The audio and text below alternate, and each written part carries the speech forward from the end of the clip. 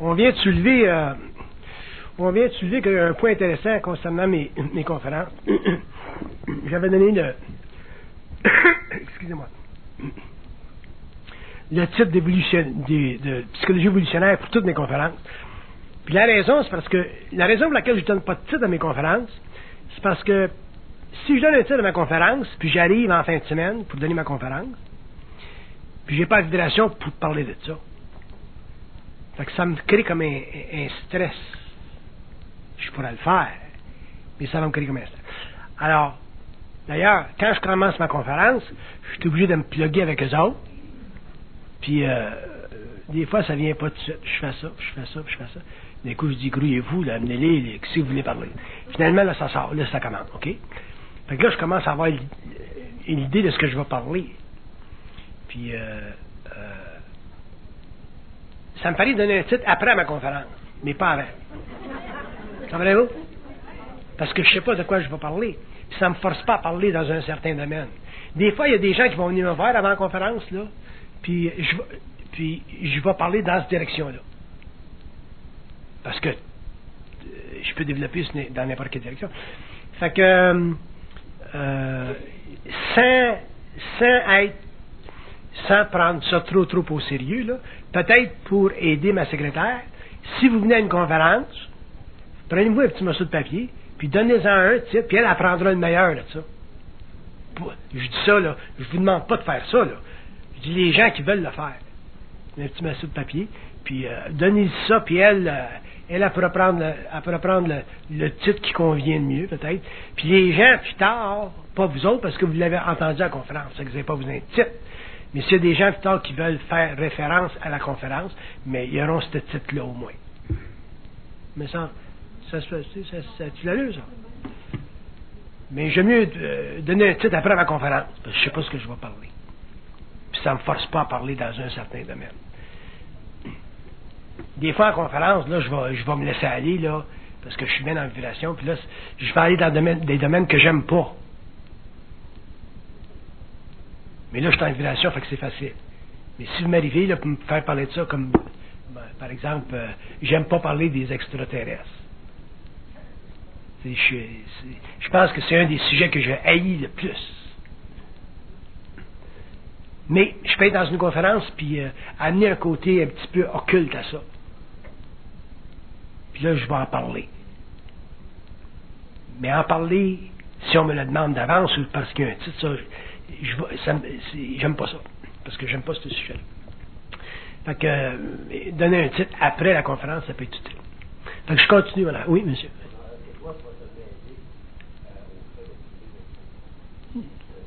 Moi, je vais laisser ça dans les mains de Yolande.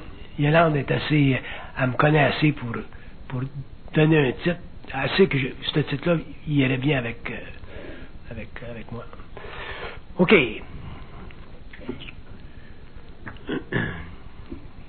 C'est comme on dit là. Fait c'est intéressant la première partie. C'est intéressant la première partie. Puis la première partie, elle démontre que l'homme a une capacité chez lui qui est réellement cachée, voilée. Puis, euh, mais que pour atteindre ce niveau de conscience-là, cette faculté-là, pour être en puissance à ce niveau-là, ce qui fait partie d'être conscient ou d'avoir une conscience intégrée, ça demande réellement une, euh, euh, un profond respect de soi. Là, c'est ça que je veux parler. Bien, bien le titre. Ça demande un profond respect de soi. Il y a trois niveaux au respect de soi. Il y a le niveau astral, il y a le niveau mental et il y a le plan occulte. Le niveau astral du respect de soi, c'est le niveau que la personnalité a dans le monde du respect de soi. Le respect que vous avez de vous-même, ça, ça fait partie du niveau astral du respect de soi. Le niveau mental du respect de soi, c'est une certaine prise de conscience qui vous permet en tant qu'individu de vous donner une sorte de priorité dans la vie par rapport à tout ce qui peut être autour de vous autres en tant qu'individu. Ça, c'est le niveau mental du respect de soi. Puis il y a le niveau occulte du respect de soi, c'est cette euh, façon pour l'homme de savoir dans la vie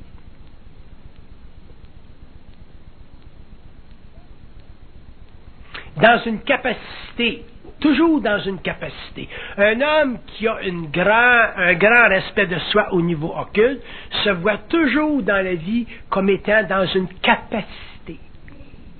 Alors que dans les, les deux autres niveaux, astral et mental, vous n'êtes pas nécessairement dans une capacité. Comprenez-vous ce que je veux dire? Être dans une capacité, ça veut dire essentiellement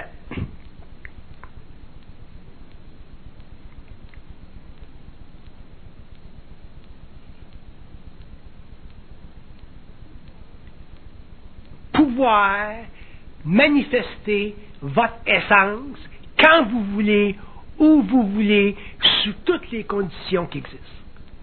Ça, c'est être dans une capacité. Un être conscient, l'homme conscient, ou plus l'homme deviendra conscient, plus il sentira qu'il a cette capacité d'être. Et cette capacité d'être-là fait partie de la manifestation de son esprit, beaucoup plus que de la manifestation de son âme. Dans l'âme, il n'y a pas d'intelligence. Il y a seulement de la mémoire, de l'expérience accumulée. Dans l'esprit, vous avez de l'intelligence intégrale, de l'intelligence pure, vous avez de la lumière. Vous avez un contact instantané avec soi, ce qu'on appelle soi, c'est-à-dire avec votre moi universel ou votre autre partie que vous pouvez sentir par vibration, intuiter spirituellement ou entrer en télépsychie avec sur le plan mental.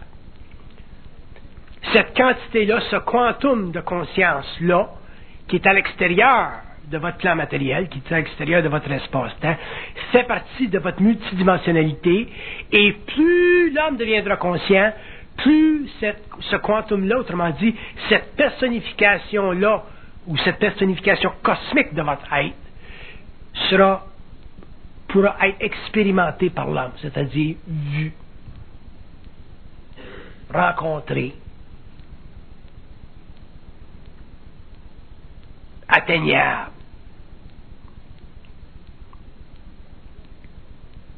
Mais rendu là, l'homme aura une conscience mononcielle. C'est-à-dire qu'à ce moment-là, l'homme ne sera plus régi par les lois de la mort. Quand il laissera son corps matériel, il ira directement sur le plan mononciel, il n'ira pas sur le plan astral. L'homme sera totalement dehors de sa personnalité et l'homme, techniquement, ne sera plus humain dans le sens involutif du terme. Il sera, il sera totalement transformé, c'est-à-dire qu'il n'y aura plus en lui de, de mémoire de son animalité. Il y aura simplement, simplement conscience de son universalité. Quand je parle de l'animalité de l'homme, je, je, je, dénigre pas cette catégorie de conscience. Je fais simplement dire que l'animalité chez l'homme, c'est la source profonde de son inquiétude existentielle, causée par le fait que l'âme est impuissante à lui donner les clés de son propre paradis qui est sa conscience mentale l'âme étant la sommation de son expérience, autant sur le plan matériel que dans les sphères astrales avant l'incarnation. Dans un cas ou dans l'autre, l'homme n'a pas contact véritable, intégral, absolu avec son esprit. Autrement dit, il n'y a pas une conscience en fusion qui fait partie du nouveau contrat entre l'invisible et le matériel au cours de l'évolution pendant l'évolution, ce contrôle-là n'était pas faisable, n'était pas, n'était pas possible, parce que le corps mental de l'homme n'était pas suffisamment développé et l'homme n'était pas arrivé à, à, l'âge du verso. Là, on rentre dans l'âge du verso, qui est techniquement l'âge de la communication. Donc, l'ouverture avec les circuits universels. Donc, la possibilité, éventuellement, chez l'homme, de non pas reprogrammer sa conscience, mais prendre contrôle de sa programmation. Que la programmation chez l'homme soit telle, ça, ça fait partie de son incarnation. Ça fait partie des choix de vie avant l'incarnation. Mais une fois que l'homme sait, s'aperçoit, perçoit, que sa programmation commence à, étouffer sa vie, que sa programmation commence à nuire à sa liberté, que sa programmation n'est plus le glas d'une liberté, mais plutôt le glas d'un arrêt et d'une limite. À ce moment-là, l'homme doit prendre le contrôle de sa programmation, c'est-à-dire établir un lien avec l'invisible suffisamment conscientisé, donc déémotivé, pour pouvoir finalement euh, euh, avoir le pouvoir de corriger sa programmation. Corriger, veut dire euh, mettre une fin à des conditions qui lui enlèvent en tant qu'être sa noblesse. Mais pour ça, il faut que l'âme devienne de plus en plus libre de la crainte. Et elle va très très loin la crainte. Elle va très loin la crainte. Parce que la crainte, elle est... La crainte, elle est unie, elle fait partie de l'âme. Elle est conjointe à l'âme. Vous parlez d'âme, vous parlez de crainte. Vous parlez d'esprit, vous, parlez, vous parlez d'absence de crainte.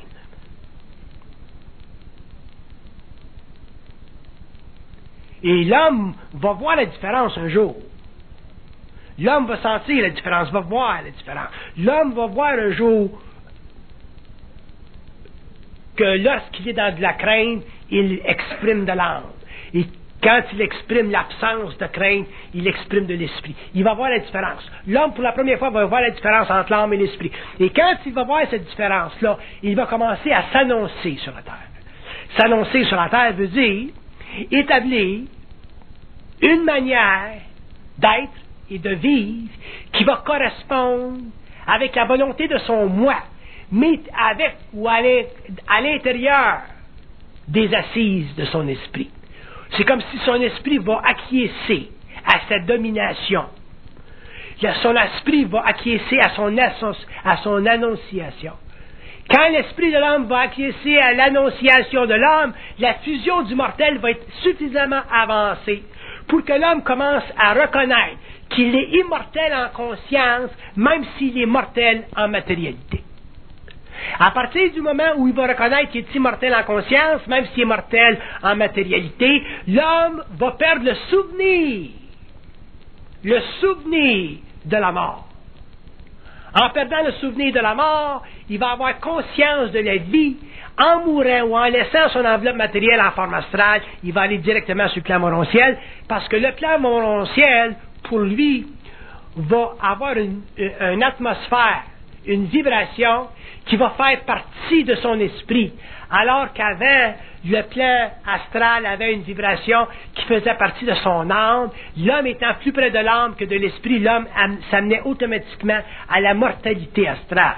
Alors que dans l'évolution, l'esprit étant plus près de l'homme, l'homme ira vers la mortalité moroncière. Mais pour que l'homme aille vers la, mortalité moroncière, il faut que sur la terre, qui est un laboratoire, d'expérience autant pour l'humanité que pour lui en tant qu'individu, il faut que l'homme en arrive éventuellement à maîtriser sa nature animale. Et la maîtrise de sa nature animale, c'est fondamentalement la maîtrise de ses craintes à n'importe quel niveau. Ça serait intéressant si je vous disais, si je vous expliquais vos craintes, puis vos craintes, puis vos craintes, puis vous verriez que je connais plus vos craintes que vous autres, vous les connaissez. Pourquoi? Parce que je peux, je suis en contact télépathique avec le plan mental. Alors, il faut que l'homme en arrive à connaître ses craintes lui-même. Et une fois que l'homme connaîtra ses craintes, il pourra graduellement les éliminer. Et c'est ça que fait l'initiation solaire. Le but, même je pourrais dire, réellement simplifier l'initiation de l'homme, le but de l'initiation solaire ou la fonction de l'initiation solaire, éventuellement, ou le travail que fait le double avec l'homme ou avec le mortel, ça sera essentiellement d'éliminer la crainte. Autrement dit, de repousser de la conscience de l'ego les forces de l'âme.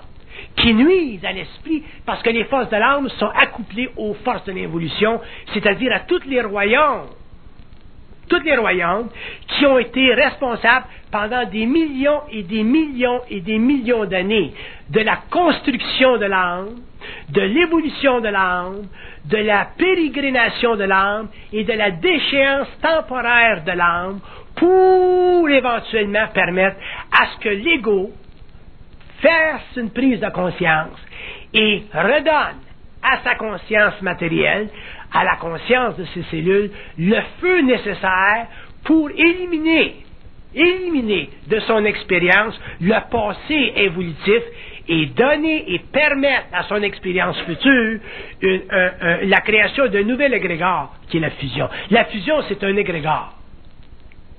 La fusion, c'est un lien qui peut être extrêmement, je dirais pas rigide, mais extrêmement présent entre ce qu'on appelle le mortel et le plan immortel de sa conscience. Appelez ça comme le, votre grand moi, votre ajusteur de passé. Pour moi, c'est, c'est secondaire, parce que les mots sont secondaires.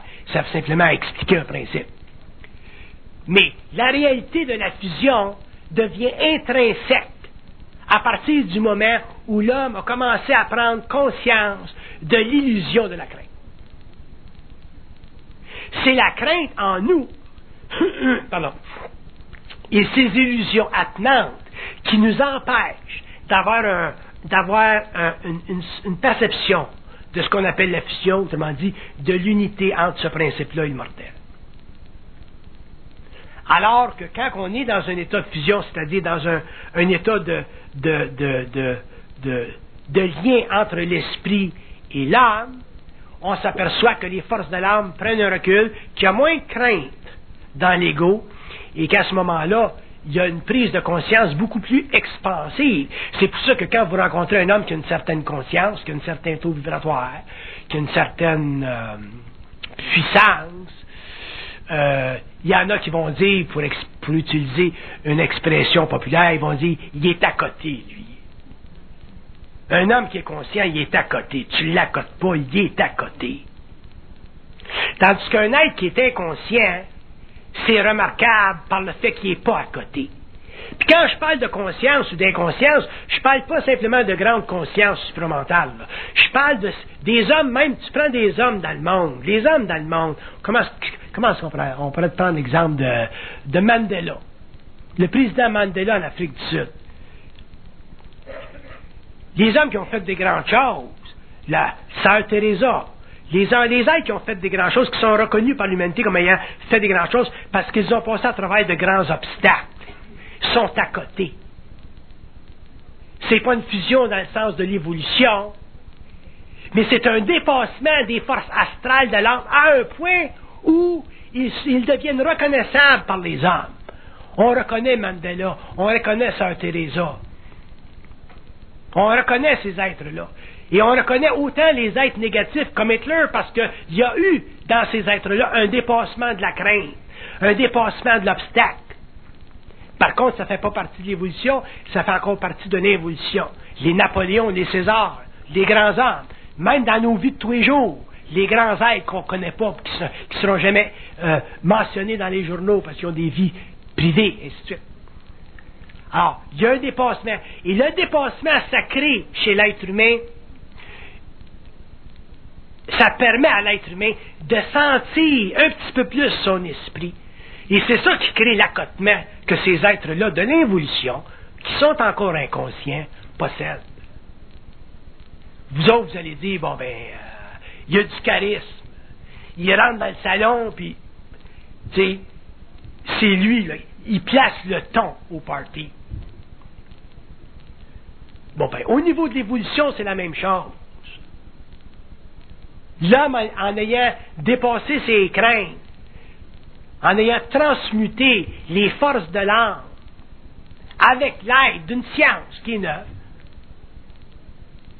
une science qui est fondée réellement sur le rapport télépathique entre l'homme et l'invisible, à ce moment-là, ben, on sort de la spéculation. On sort de la philosophie. On cesse de traiter la réalité comme étant une émancipation psychologique de notre moi intellectualisé.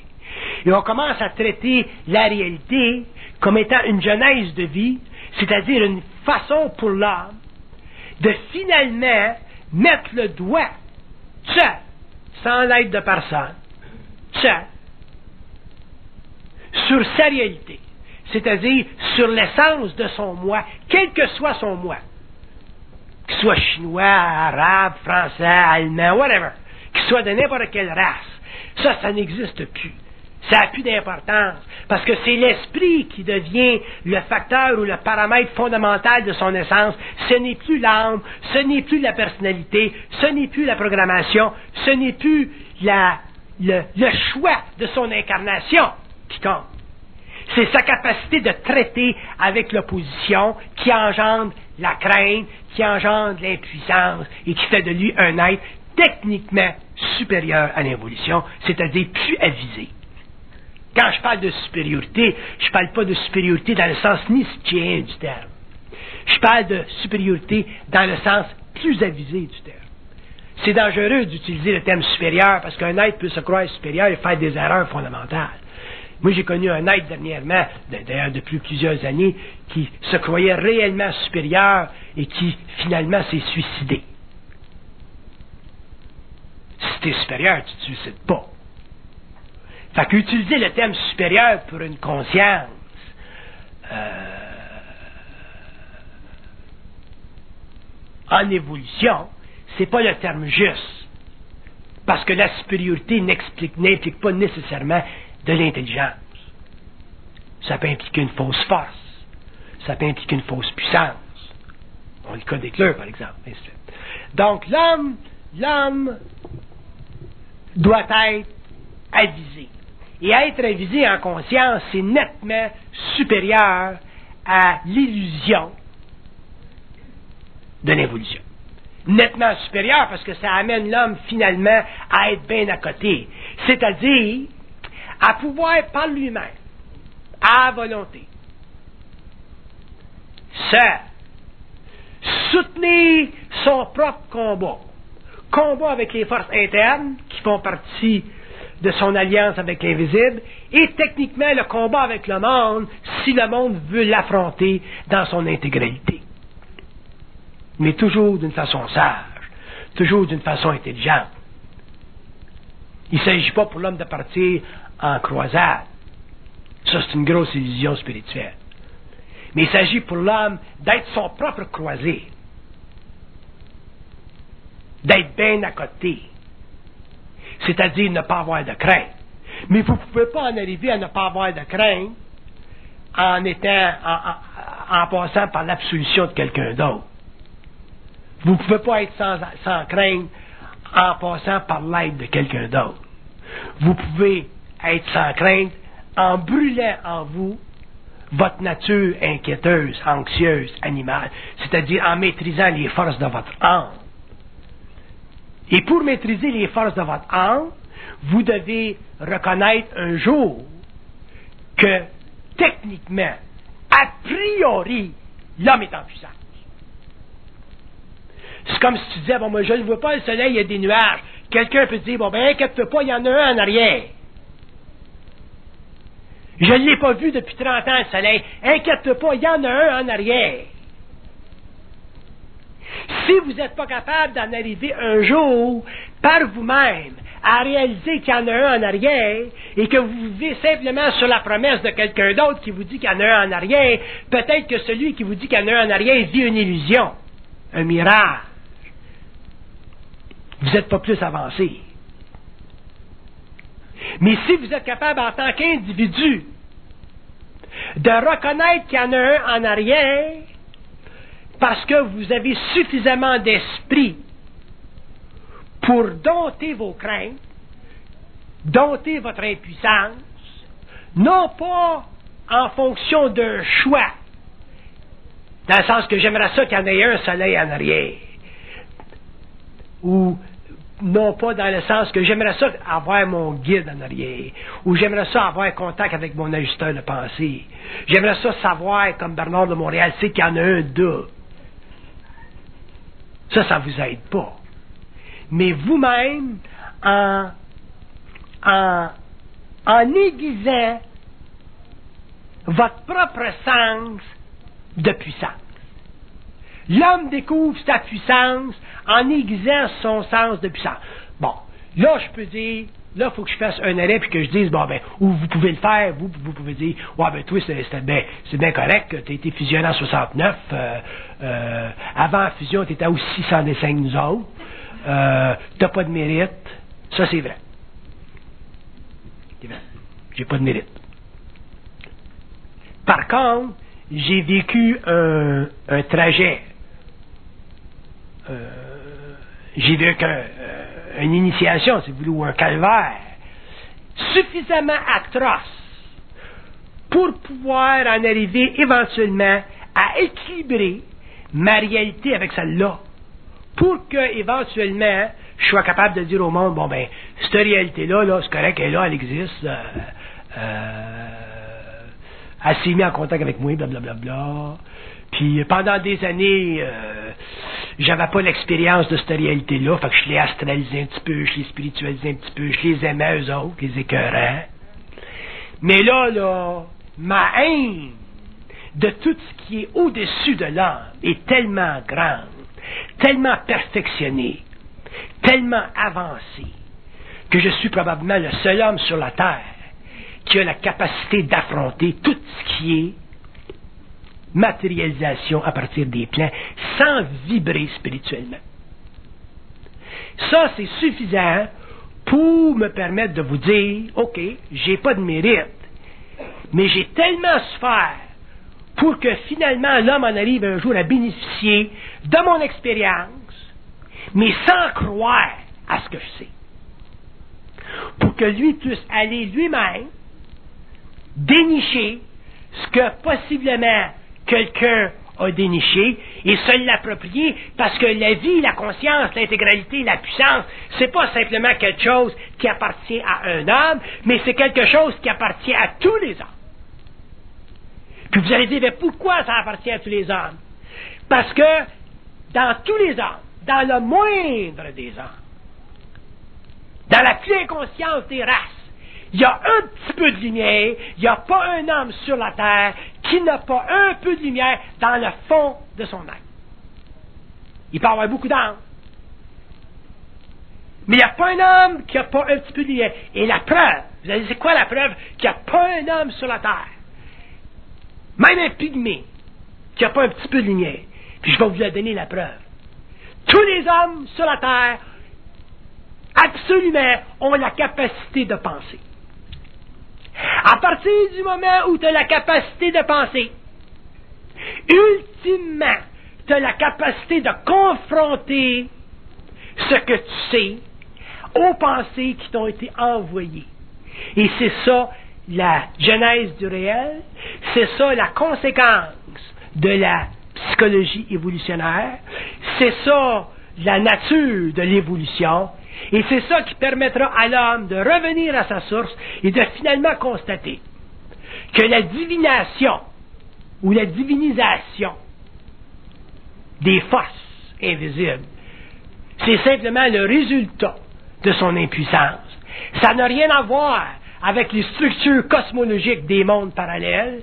Ça fait partie de ces illusions spirituelles, du mensonge cosmique. Et lorsque l'homme aura finalement intégré sa nature, repris en main la possession de son territoire psychique, c'est-à-dire compris que la pensée vient d'ailleurs, qu'elle n'est pas simplement réflexion, qu'elle peut être objective, qu'elle peut être en télépsychie, qu'elle peut être matérialisée, qu'elle peut faire partie des covenants occultes de dimensions et de civilisations qui ne peuvent pas apparaître à l'homme parce qu'elles n'ont pas le droit, parce qu'elles détruiraient sa conscience animale, à ce moment-là, l'homme commencera un jour à reconnaître qu'il y a une indivisibilité, dans son être, une indivisibilité dans sa projection, une indivisibilité dans sa réalité, et que l'homme techniquement est capable à distance, par volonté, par conscience, d'établir les normes d'évolution de n'importe quelle race sur la Terre, de n'importe quel individu sur la Terre,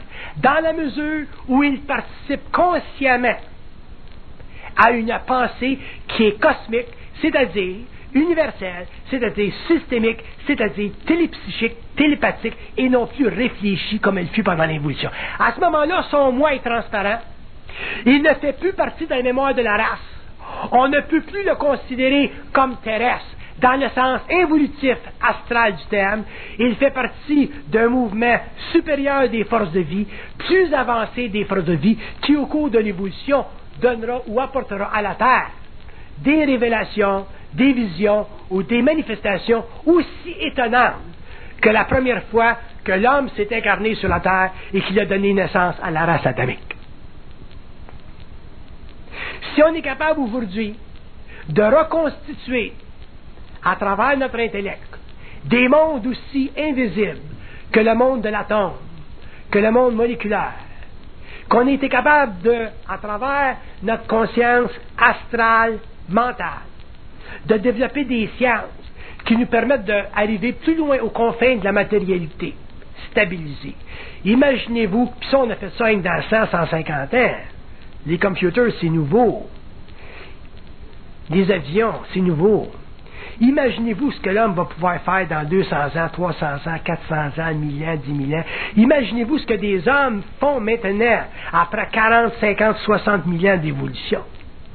Il n'y en a plus à ce moment-là de différence entre l'invisible et le matériel. Il n'y a plus à ce moment-là l'existence purement phonétique du concept de l'âme. Vous avez réellement des cristaux de lumière vous avez réellement des structures moroncielles. Vous avez réellement des espaces-temps qui sont réductibles par volonté à des espaces-temps psychiques qui font partie de ce qu'on appelle les mondes parallèles. Vous avez à ce moment-là des mondes qu'on appelle le monde de la mort, qui n'est simplement qu'une réflexion de toutes les mémoires, de toutes les âmes qui existent et qui ont été créées. Vous avez à ce moment-là des institutions dans des mondes systémiques, locaux, tellement avancés tellement perfectionné que la sommité, la sommation, la totalité de ces institutions-là correspondent à ce que spirituellement on appellera l'île du paradis. Et l'île du paradis, à ce moment-là, quand on, on en convient d'une manière moroncielle, quand on en convient au-delà de la crainte, au-delà de la crainte spirituelle, quand on a réellement ou quand l'homme aura réellement le pouvoir de la parole et que l'homme sera réellement capable de s'installer sur une planète et de s'élever la colonne et de crier dans le monde des mots qui ont simplement une vibration et dont la forme n'a aucune utilité, l'homme commencera à comprendre son mystère, l'homme commencera à pénétrer son mystère, l'homme se révélera dans son mystère. Et en révélant son mystère, l'homme révélera le mystère de la vie de la planète des mondes. Et il n'y aura plus devant la conscience de l'homme, devant les yeux de l'homme, devant l'esprit de l'homme de voile. Et quand il n'y aura plus de voile devant l'esprit de l'homme, il y aura simplement un homme individualisé. Il y aura simplement une, lumière dans une matérialité. Il y aura simplement une intégration de principes universels avec des principes planétaires. Il y aura simplement une âme unifiée à un esprit. Il y aura simplement un ajusteur de pensée essentiellement en harmonie avec un ego qui n'aura plus peur de l'infinité. c'est important que l'homme commence à comprendre ça et que l'homme commence à expliquer à l'homme et à, à, pouvoir finalement rendre à l'homme ce qui lui est dû. Et ce qui est dû à l'homme, pour la première fois depuis l'évolution, c'est sa capacité de détruire les yeux de Dieu.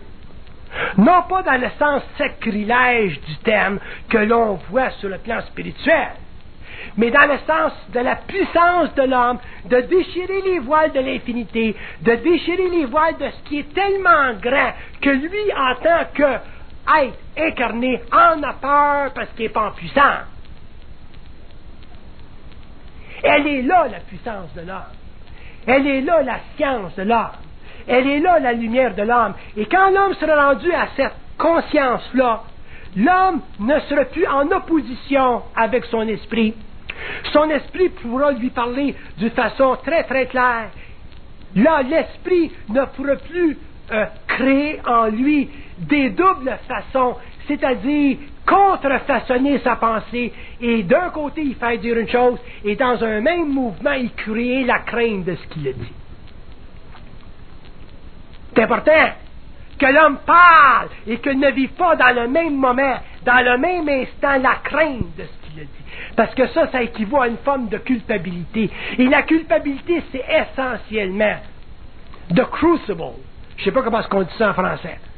Le, le petit bol à l'intérieur duquel le plan astral, le monde de la mort, broie l'âme, fait souffrir l'âme constamment. Et tant que l'homme n'aura pas éliminé la culpabilité de sa conscience, qui est nettement une forme subtile de crainte, l'homme ne pourra pas crever les yeux de Dieu. Et si l'homme ne crève pas les yeux de Dieu, l'homme ne pourra pas connaître le mystère de Dieu.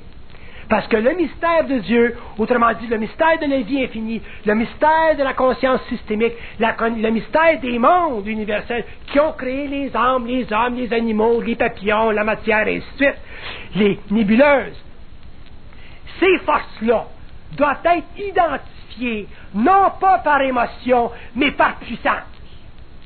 Si l'homme identifie l'absolu ou les éternels ou l'infinité par émotion, l'homme va automatiquement être forcé de mettre sur le mur de sa perception le visage de Dieu. Et c'est ce que l'homme a fait pendant l'évolution en utilisant les religions pour cacher le vrai mystère de sa science.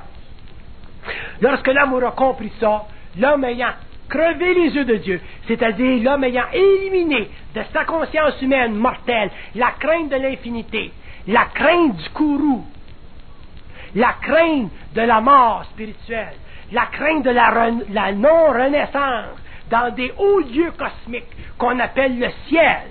Une fois que l'homme aura éliminé ça de sa conscience, l'homme sera un être libre, c'est-à-dire qu'il ne sentira plus jamais devant lui la mort, c'est-à-dire l'impuissance, c'est-à-dire cette façon d'être qui n'est pas à la mesure de sa lumière.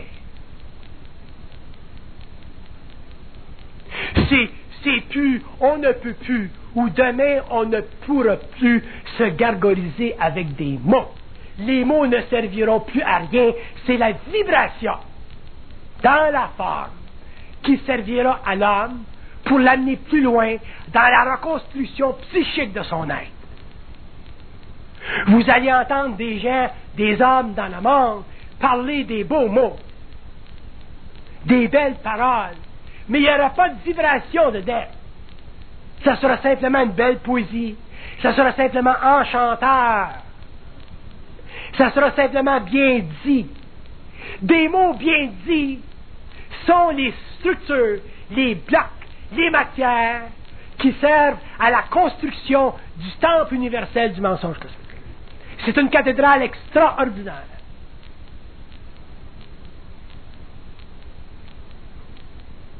Et tous les pieux, les gens pieux de la terre, les hommes de l'involution,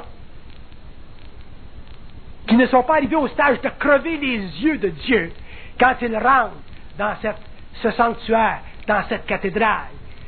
Ils frissonnent devant la beauté, parce que la beauté est à l'extérieur d'eux. Parce que la beauté est plus grande que ce qu'ils peuvent concevoir et que l'homme est capable de construire.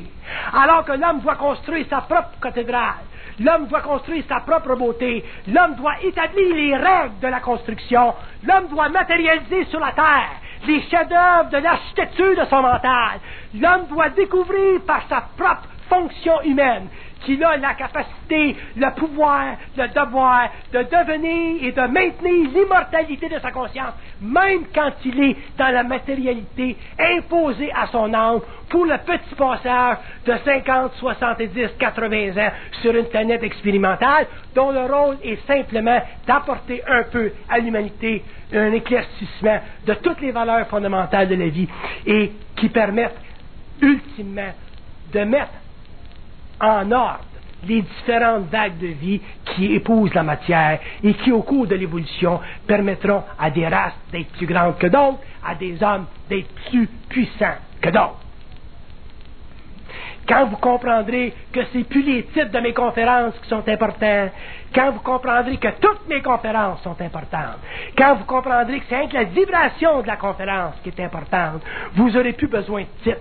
Vous aurez plus besoin de titres parce que vous saurez que quand je crée un titre, c'est simplement pour créer à votre ego un attachement émotionnel à une femme et qu'aussitôt je vais commencer à parler, je vais sortir du titre, je vais sortir du sujet, je vais sortir de la limite pour créer une nouvelle limite ou une nouvelle absence de non-limite afin de toujours libérer l'homme, afin de toujours faire réaliser à l'homme que c'est lui le chevalier, que c'est lui qui porte l'arme, que c'est lui qui porte le, le, le, comment est-ce qu'on appelle ça, l'épée, et que ce n'est pas Michel Archange qui porte l'épée, que c'est l'homme qui la porte.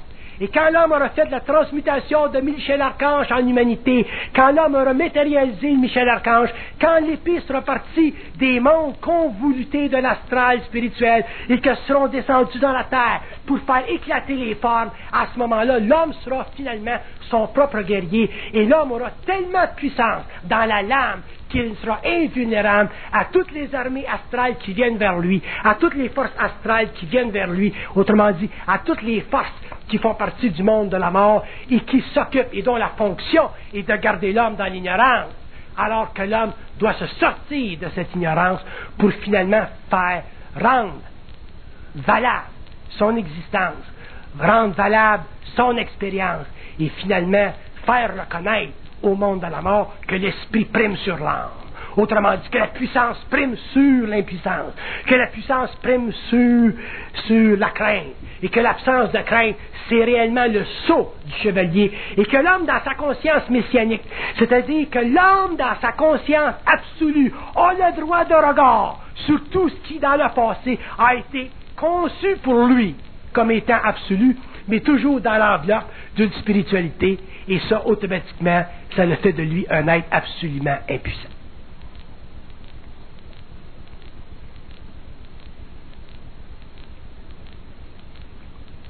Moi, j'aime ça vous parler.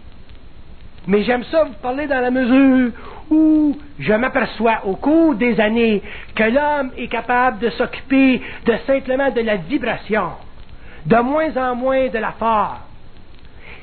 Parce que je sais qu'à partir du moment où l'homme aura une conscience vibratoire, l'homme entrera dans son esprit. Ça serait totalement inutile pour moi de vous parler euh, avec trop de mots en utilisant trop de mots.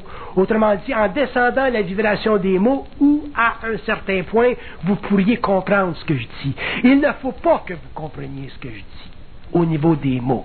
Il faut que vous sachiez ce que je dis au niveau de la vibration. Sinon, si vous comprenez au niveau des mots, vous allez, ou ensemble, on va simplement créer un autre système. On va simplement créer d'autres philosophies. On va simplement créer d'autres ésotérismes.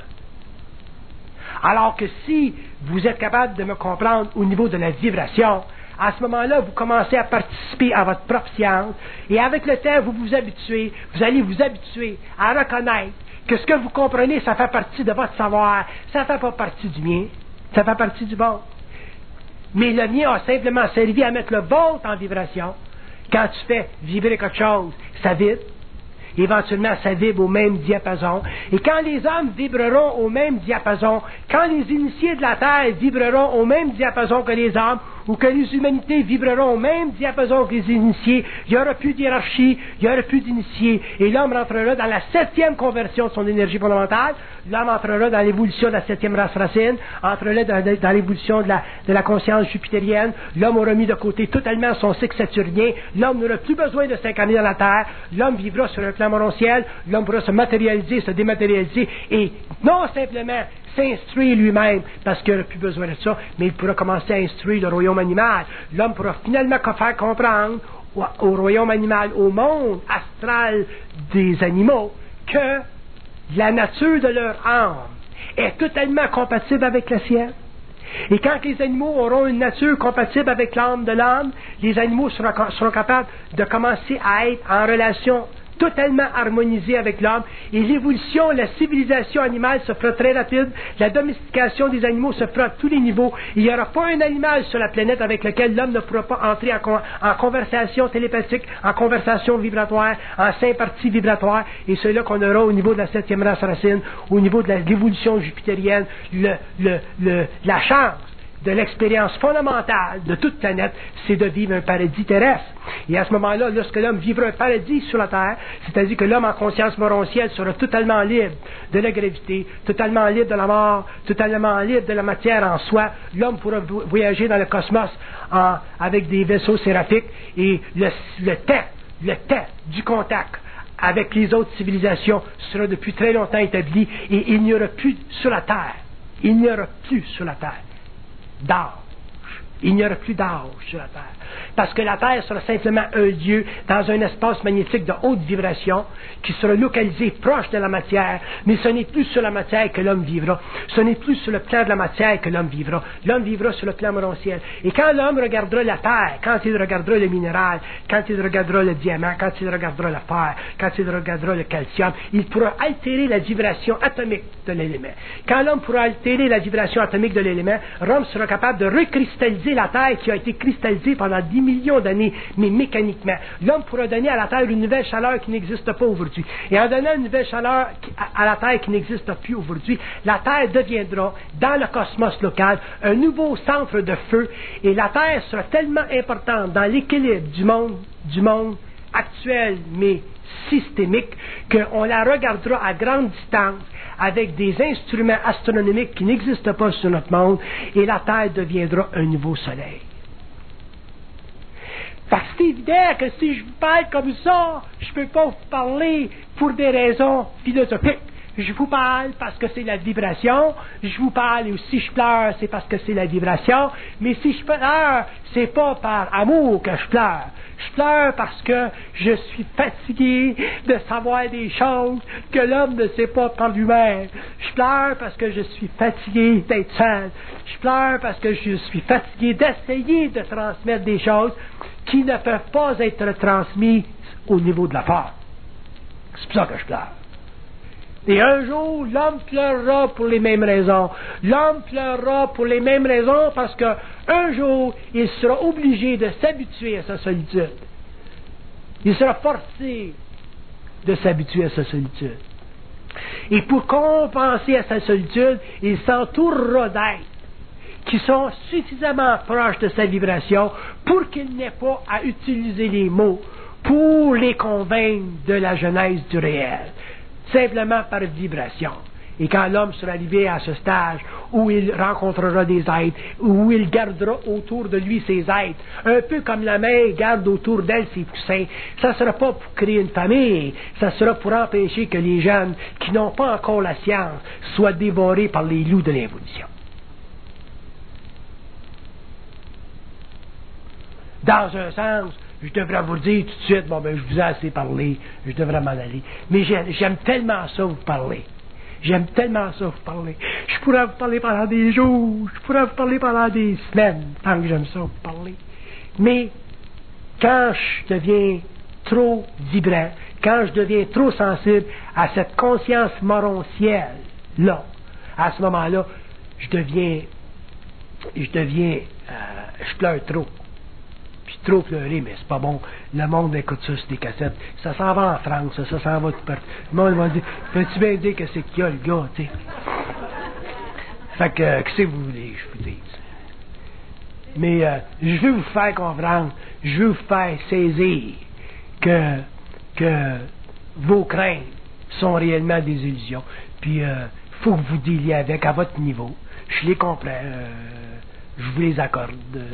On est né dans différentes familles, dans différentes sociétés. On a toutes sortes de craintes. Mais je vous dis qu'elles sont toutes illusoires, qu'elles font partie des forces de l'âme, qu'elles font partie de votre conscience astrale. Et ne laissez pas vos pensées prendre le contrôle de votre vie. Bye.